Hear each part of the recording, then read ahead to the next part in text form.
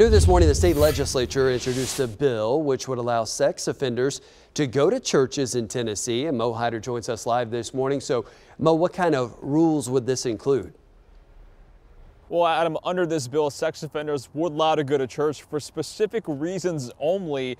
And before any of that can even happen, they do have to get permission before even doing so. Now, here's how this bill works. This is what it says. It's being proposed by State Representative Patsy Hazlewood from Signal Mountain. It says sex offenders can attend church for religious, education, or social purposes only, providing they get approval from the pastor ahead of time. It also says a written letter of permission has to be given to the offender before they can even attend those services. Now, right now, this bill in its early stages, not much has happened. It hasn't been assigned to even any committees yet.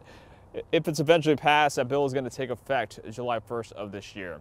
Live in downtown Nashville, Ohio News Channel 5.